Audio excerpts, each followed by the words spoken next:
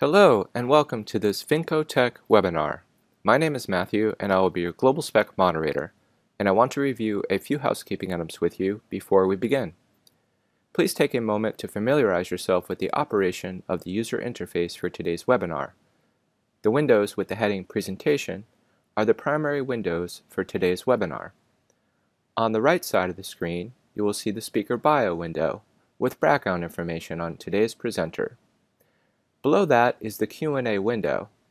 At any time during the presentation, you can enter a question into the box in the lower section of the window and click Submit. Your question will be placed in the queue to address when we get to the Q&A session. At the bottom of the screen, you will see additional buttons to enhance your webinar experience. To see what a particular button does, just place your mouse pointer over it and a tooltip will appear with a description of the button's function. Now I would like to introduce today's presenter. With us today we have Dr. Michele Portico, the Senior Product Marketing Manager for VincoTech. To read more about Dr. Portico, please look at the speaker bio window right next to the main presentation window. And Dr. Portico, welcome to today's event. And with that, I will pass things along to you to get started.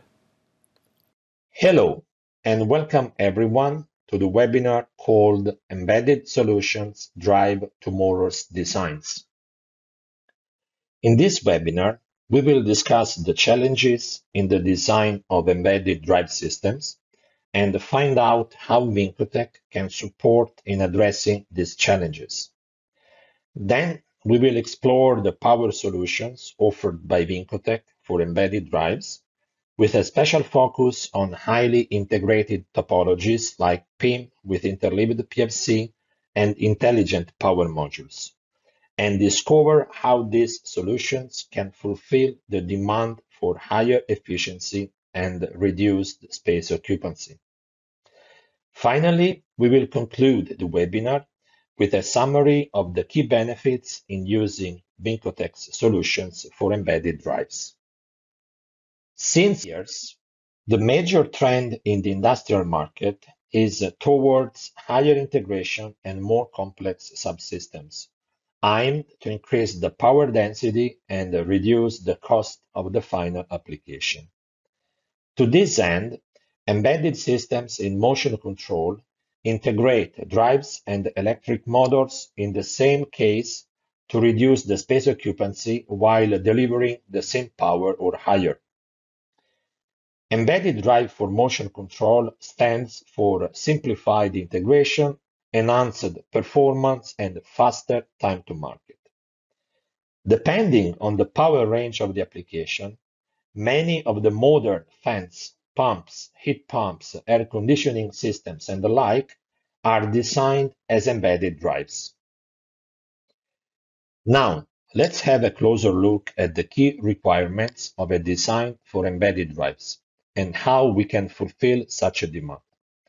The ultimate goals of embedded designs for motion control are an increased power density and a reduced cost of the application.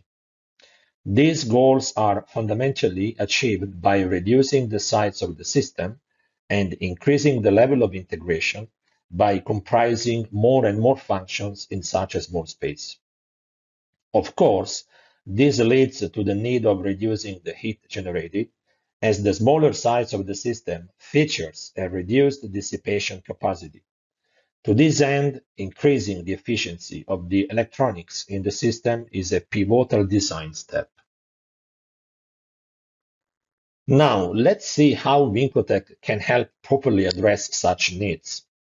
The appropriate answer to such a demand is a higher level of integration of the power solutions needed to drive the electric motor in such systems.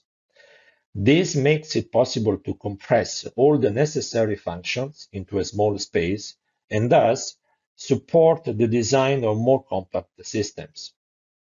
In this respect, it is necessary to develop technologies that allow the integration of a large number of electronic components in a compact package and possibly to employ single module solutions.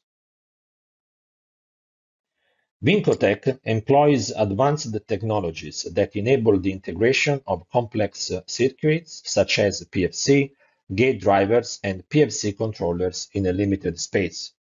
Additional functions are offered through the integration of shunts, bootstrap circuits, thermal sensor, and onboard capacitors. Moreover, as mentioned already, a key point in achieving the above-mentioned goals is that all the mentioned functions are integrated in a single package in order to reduce space on the end system and reduce costs at the same time. A key aspect of the design and development of such solutions with a high level of integration is, in addition to the electrical functionality of the power module, their thermal performance. To meet this requirement, Vincotech has developed new technologies that significantly improve the thermal performance of the power modules, and therefore of the entire application. The integration of the well-known interleaved configuration for the PFC circuit and the use of the thin ceramic substrate contribute to a high improvement in thermal performance, especially as regards the ability to dissipate the heat generated by the electronic components in the module. In addition, we have developed a new technology for the housing manufacturing called VincoPress, used in the latest generation of packages such as Flow S3 and Flow E3, which allows a considerable increase in the thermal performance and therefore the development of modules capable of delivering higher power. Last but not least, Vincotech can rely on a wide selection of the latest chips and passive components as a chip-independent company, and on well-established technologies such as thick film technology to integrate a large number of functions in a single package. That said, let us now explore Vincotech's extensive product portfolio, specifically developed for embedded drives applications. The portfolio comprises power modules for single-phase as well as three-phase systems. As far as single-phase systems are concerned, the offer includes PIMs with a single-leg PFC integrated in the compact Flow Zero B and intelligent power modules in Flow 1B, mainly for low powers up to 2 kW. As we will see later, our IPMs utilize the well-established thick film technology to integrate gate drives and other features such as bootstrap circuitry and shunts. Applications up to 4 kW can be addressed with PIMs with a single-leg PFC in Flow Zero and Flow 90, employing either MOSFETs for higher performance or IGBT for cost-effective solutions in the PFC circuit. Silicon carbide components are also used in such families aimed to increase the conversion efficiency. A special mention here is reserved for the space-saving housing called Flow 90, which enables 90 degrees mounting between heatsink and PCB. An additional step in power is realized by our latest generation Flow 1 PIMs that integrate two-leg and three-leg interleaved PFC respectively, in combination with a six-pack for motor inverter, and can be used for applications up to 8 kW. Finally, three-phase applications are addressed with the 1200 volt intelligent power modules in Flow 1B and Flow 1C, with powers up to 6 kW, and with the latest generation products employing innovative PFC topologies, such as advanced neutral PFC for powers up to 6 kW and current synthesizing PFC for applications up to 12 kW in Flow 1 and Flow S3 respectively. As you can see on the bottom side of the slide, Vincotech has a wide offering of housings for powers ranging from few hundreds watt up to 15 kilowatt, with different mechanical designs aimed to fulfill various requirements for the end system design. Now, let's take a look at the new interleaved PFC product family. Vincotech offers four different product subfamilies, which include PIMs with two-leg PFC with and without input rectifier, PIMs with a three-leg PFC, and PIMs that integrate totem pole PFC for increased conversion efficiency. All products in the family are equipped with high-speed components in the PFC for switching frequencies up to 100 kHz, integrated motor inverter, and a thermal sensor for heatsink temperature measurement. The modules with interleaved PFC are also equipped with uh, a shunt system that includes a common shunt as well as leg shunts and onboard capacitors. The thin aluminum oxide ceramic substrate enables a reduction in the thermal resistance and thus an improvement in the thermal performance of the power modules. Now, let's have a look at the key benefits of these solutions. First, the interleaved configuration in the PFC allows for improved thermal performance due to the fact that the PFC is split into two or three legs. This leads to a better heat spread because the components in the two phases or the three phases of the PFC occupy a larger area on the substrate than in the case of an equivalent single-leg PFC. In addition, as known from the state-of-the-art, the interleaved configuration decreases the input current ripple, allowing for a reduced EMI filtering on the PCB. A key feature of these products is the integrated shunt system. This system allows the current in the two legs of the PFC to be properly balanced by comparing the measurement of the total current injected into the PFC through the common shunt with the measurements of the currents in the individual legs of the PFC through the leg shunts. In this way, it is possible to ensure that there is no current overload in either leg, and thus it is possible to optimize the life cycle of all the PFC components in turn. In addition, the onboard capacitors significantly reduce the voltage overshoot, as shown in the figure on the left. Finally, a special attention is paid to the layout and the pinout of these modules. The layout is optimized in order to achieve the best possible thermal performance by properly separating the various module blocks, while the pinout has been carefully defined in order to ease the routing on the PCB. As it is visible in the figure on the left, all the power pins are located on the edge of the module, enabling an easy routing with a minimum number of PCB layers. Previously, we have discussed the use of thin ceramic substrate to improve the thermal performance of power modules for embedded drives. This slide shows an analysis carried out by our engineers that shows how thin ceramic leads to a reduction in thermal resistance, namely the RTH, and thus to an improvement in the thermal performance of the module. This figure shows several scenarios involving the layout of power modules, with different sizes of copper area, depending on the density of the chips in the module. The analysis has been performed for two different chip sizes, 10 square millimeters and 35 square millimeters respectively. As can be seen from the figure, starting from the left, the reduction in the RTH in the case of thin ceramic substrate compared to standard thickness ceramic becomes more and more significant as the copper area is reduced around the chip, and thus as the layout becomes denser.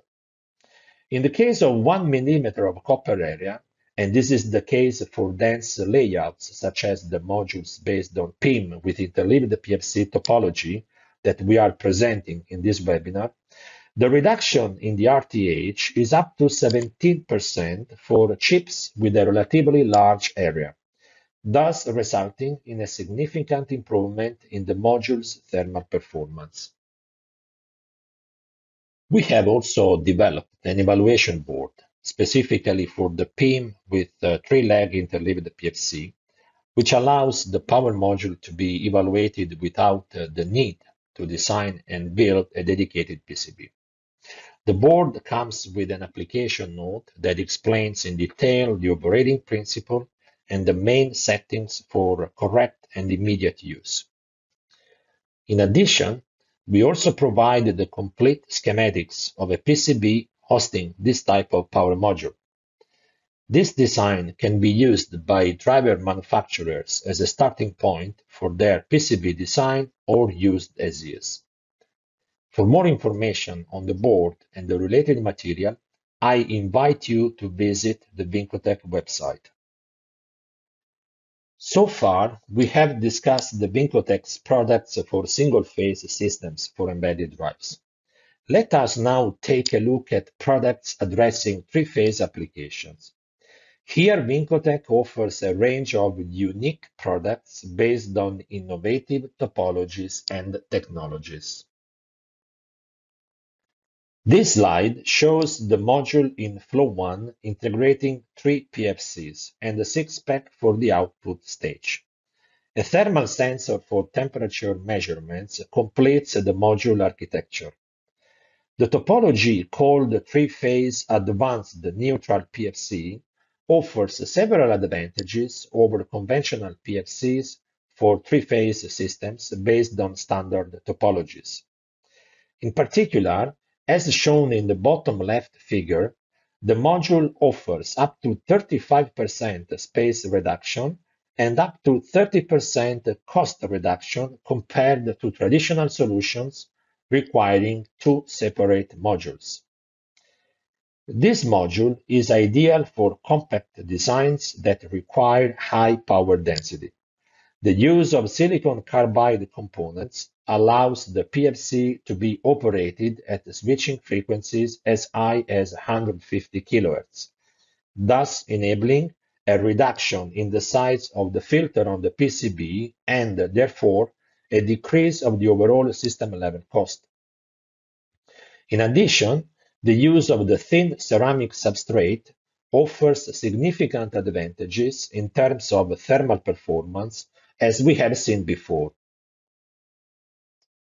Current synthesizing PFC is a unique and innovative topology recently developed by Vincotech for addressing three-phase systems. This product integrates a three-phase rectifier, a three-phase PFC, and a motor inverter for applications up to 12 kW in a single package. The unique architecture of the module allows the use of several low-frequency and low-current rating components, drastically limiting the cost of the product.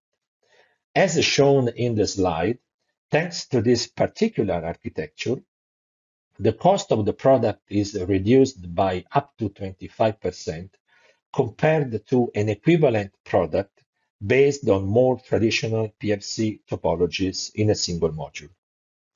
In addition, there are further cost reductions due to the fact that it is possible to use fewer and smaller inductors on the PCB.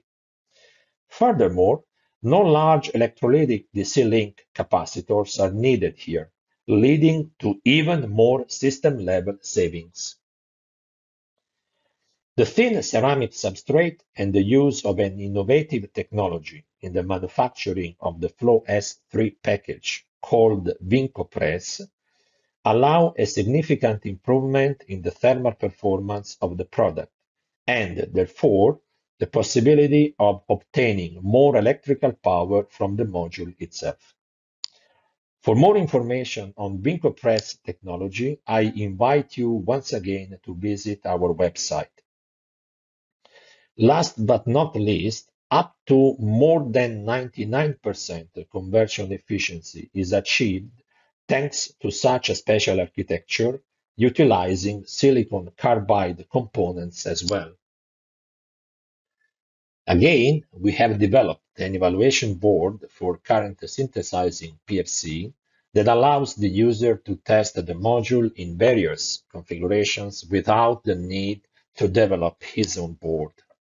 As usual, the board comes with an application note that explains in detail the principle of operation and provides guidance on settings. The hardware consists of three parts, the three-phase current synthesizing PFC converter, a booster converter, and the six-pack inverter. So far, we have seen Vincotech's offering for single-phase and three-phase systems for embedded drives consisting of power modules that integrate a converter, a PFC, and inverter based on the DCB technology. One particular type of product that Vincotech has been offering for years employs the thick film technology to increase the level of integration in the single module, particularly by also allowing the assembly of gate drivers and, in some products of the family, the PFC controller. These products, called intelligent power modules, integrate a converter, PFC, and inverter. With this technology, it is also possible to print shunt resistors on the ceramic substrate that achieve high levels of precision through laser trimming. Thanks to this technology, Vincotech's Flow IPM families show the highest level of integration among the power modules currently available on the market and allow reducing dramatically the overall system size, cost, and time to market. Let us now take a look at the IPM product portfolio for single-phase systems. Vincotech offers a wide range of products that integrate input rectifier, PFC with a gate driver or a controller, and an inverter with a six-channel gate driver. The PFC is also offered with a silicon carbide boost diode for switching frequencies up to 150 kHz. In addition, the output stage, besides the gate driver, also integrates a bootstrap circuit for the power supply. As said before, shunt resistors are printed on the ceramic substrate, allowing for a full motor control. These products are complemented by a thermal sensor for temperature measurements and are offered in a compact Flow 1B package. Again, an evaluation board is available to test all the modules in the 600 volt IPM family, together with an application notes document.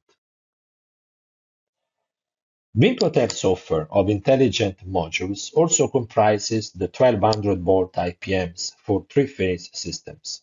Here too, the thick film technology employed allows a higher level of integration.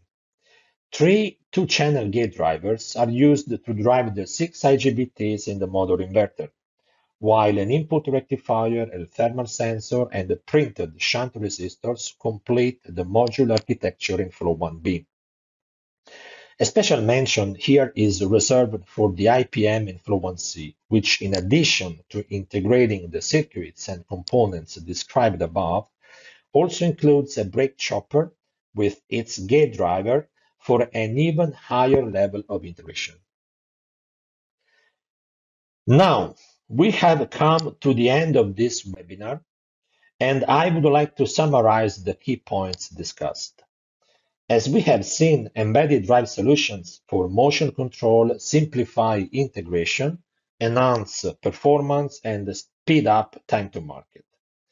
Vincotech's motion control solutions for embedded drives are built on more than 25 years of experience developing power electronics solutions for public grid-connected motion control applications. Combining speed and flexibility, Vincotech can help design and develop applications that meet the power range and design specifications of embedded drives. Vincotech's one-stop power solution offering for complex motion control application includes application-specific power modules, such as a 600-volt PIM with PFC, 1200-volt PIM with three-phase PFC, and intelligent power modules. As a chip-independent power module manufacturer, Vincotech can build solutions around all chips on the market, offering the best compromise between cost and performance. I would like to thank you for your attention and remind you to visit our website for more information on the products and the technologies discussed in this webinar. Thank you so much for that great presentation. In a moment, we're going to move into the Q&A session. So to the audience, if you haven't already submitted your question, you can still do so now by entering that information in the Q&A box and clicking submit. I also want to mention that um, Dr. Portico had mentioned the website a couple times during the presentation. So in the resource box on your screen, there is a link you can click on uh, to access the site there with more information. And along the bottom of your screen, there are a few options to reach out to the team uh, and contact us for further information. Uh, so we um, ask you to do so if you would like. Okay, let's get into the questions. Here is our first question for today. How do you see the use of silicon carbide components in embedded drives? Dr. Portico? Yeah, yeah, and actually that's an interesting question. Um, as we know, the silicon carbide components are becoming very popular, especially in some sectors and the applications like automotive and the PV solar. Uh, they offer great advantages in terms of efficiency, actually they, they show quite low power losses and are smaller than the corresponding silicon component. And from this point of view, they could contribute to a further reduction in the size of the systems for embedded drives. So actually not only the size of the component itself, but also the low power losses, as mentioned before, can uh, greatly help make the embedded drive designs more and more compact. However, uh, to date, these components are still significantly more expensive than the silicon components, which currently limits their use to high-end applications in motion control. On the other hand, um, as the cost of these components decreases, we can expect that there will be an increasing demand of uh, silicon carbide components in motion control as well, and in particular in embedded drives thanks to the major benefits they offer, as we have just uh, mentioned. Excellent. Thank you very much for that. And thank you to the audience member that sent that question in. Uh, we have a lot of good questions in the list, so we're going to get to it in a moment. But again, you still can send us your question or your comments. You can add that to the Q&A box and click submit. Now here's our next question. Do you see any chance to operate PFC at FSW higher than 100 kilohertz? Oh, yes, for sure. I mean, it's possible to operate the, the PFC at uh, higher frequencies uh, while keeping, let's say, good performance by using a MOSFET uh, and silicon carbide boost diodes in the PFC itself. In this case, the switching frequencies um, can go up to 200 kilohertz, basically here. Uh, in our product portfolio, in Vincotech product portfolio, there are several part numbers with these uh, characteristics. Uh, some of them are based on the PIM with PFC uh, topology in uh, standard DCB uh, technology, and also IPMs, intelligent power modules, as I showed in the webinar. Excellent, thank you for that. And now here is our next question from the audience. The shunt system in PIM with interleaved PFC is something new in the market. Do you foresee a wider use of such a feature in power modules? Yeah, actually, um, this feature is uh, useful with uh, a view to optimizing the performance and the reliability of the module and then of the, of the final application, the overall application. The ability to to balance uh, the, the currents in the two legs of the interleaved PFC is uh, essential to ensure a uniform use of the components in the in the PFC, and therefore to optimize the life cycle of the entire product. I think that this function is absolutely crucial in applications uh, such as embedded drives where uh, performance, uh, thermal design, and reliability are key points in their design and development. Yeah. Excellent. Thank you. Okay, now here's our next question. How does ANPFC and CSPFC fit Vincotech's product strategy and what would be the key difference at system level? Hmm. That's a good question. Actually, as we have seen in the webinar, um, ANPFC and CSPFC are two innovative topologies for three-phase PFC. Uh, when we compare them to the standard topologies, like for instance Vienna rectifier, the ANPFC shows better performance in terms of efficiency, while the, the, the costs are basically comparable. I would say they are in the same range. Moreover, the ANPFC requires a standard control strategy at the PCB level. I mean, a control strategy that is uh, commonly used in motion control applications. On the other hand, the current synthesizing PFC offers greater cost advantages, as highlighted in the webinar, but requires a dedicated control strategy. So at the end, it's, it's up to the end user to decide which way to go. I mean, from our side, we offer both. Uh, very good, thank you. Okay, and to the audience, um, we have, looks like some good questions left to go, so we're going to keep this going. But uh, you can still send us your questions if you have anything left. You can enter that information in the Q and A box. We would love to hear from you, even if you had a comment. And again, as mentioned, uh, there's some resources on the screen. You can follow up. You can access the website. And then along the bottom of your screen, there are some buttons. One of those buttons is to reach out and contact the team. And we encourage you to do so to keep that conversation going. Okay, back to the questions. Here's our next question from the audience.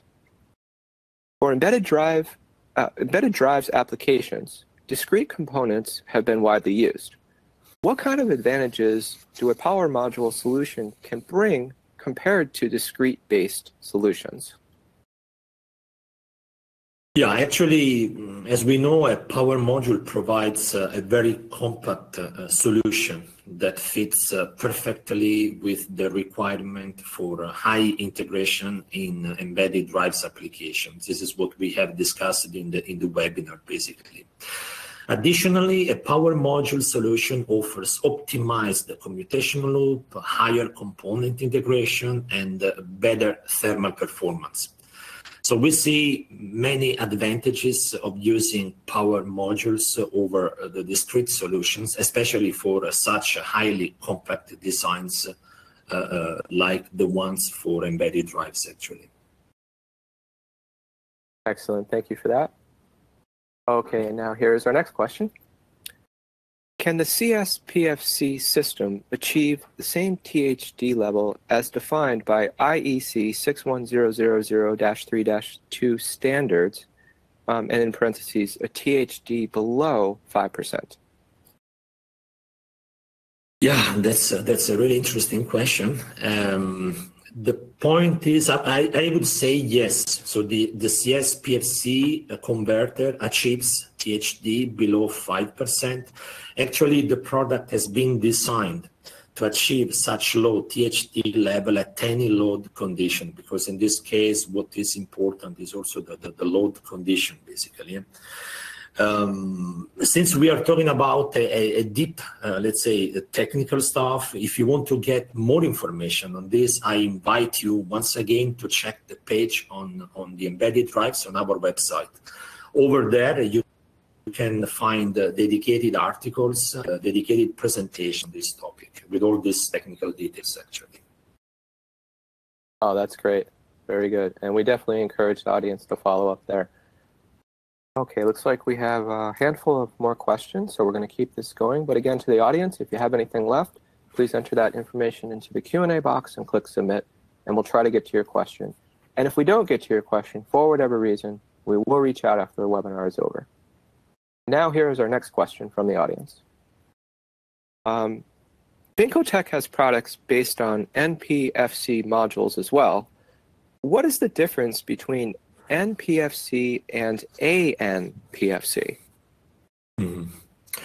Yeah, I would say the main difference is the voltage rating of the freewheeling diodes used in such topologies. In the NPFC, uh, 1200 volt freewheeling diodes are used. Instead, the ANPFC makes use of 650 volt freewheeling diodes. And as we know, the 650 volt diodes are faster they have less losses and a lower cost than the corresponding 1200 volt uh, diodes. On the other side, if you look actually at the, at the schematics and uh, topologies, uh, these two topologies, the ANPFC shows a higher number of components compared to NPFC. So all in all, we can say that uh, the ANPFC features better performance in terms of efficiency, of course, than the NPFC at a comparable cost. So we can say the costs are basically in the same range. Very good. Our next question seems to be following up a bit there, and here it is. Um, while looking at the schematic of the ANPFC, it seems that the top topology is more complicated than the NPFC. Can you comment on that, please? Uh, yeah, this is what I mentioned earlier, actually. Um, so the, the, the ANPFC uh, can be uh, seen as a modified version, I would say an improved version of NPFC. The topology can be operated with the same PWM pattern as the NPFC. But actually, the overall behavior, in the overall behavior, there is no, no difference between these two topologies, I would say. But that's right, the ANPFC has more components. Uh, the 1200 volt freewheeling diodes in the NPFC are replaced by the 650 volt fast silicon diodes with a rectifier diode in series in the ANPFC. Uh, the fast diode acts as a freewheeling diode and the rectifier diode ensures enough voltage blocking during the opposite sign uh, half wave.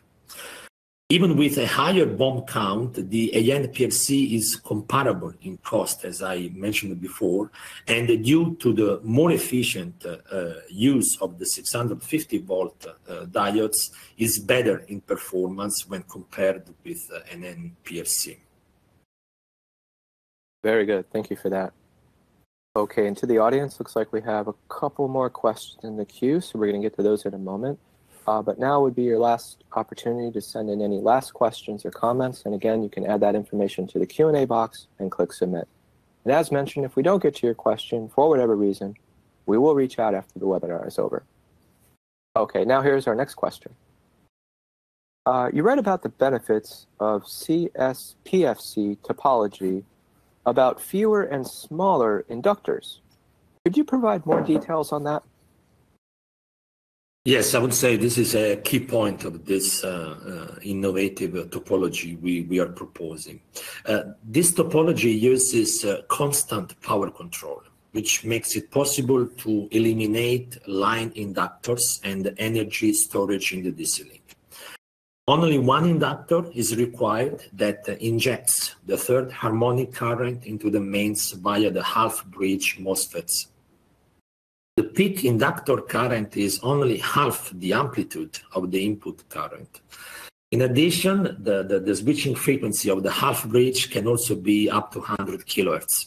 So these two factors enable to size the inductor significantly smaller than in the state-of-the-art topologies, like for instance the NPFC we have mentioned before, where the inductors have to handle the full input current.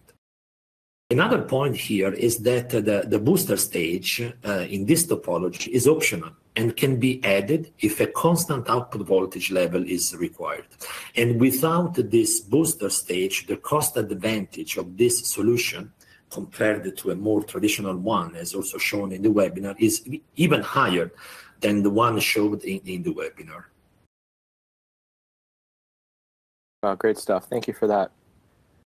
Okay, looks like we have one last question in the queue, so we're going to get to that in a moment, but to the audience, now would definitely be your last chance to send in any last questions. So go ahead and do that if you have anything left.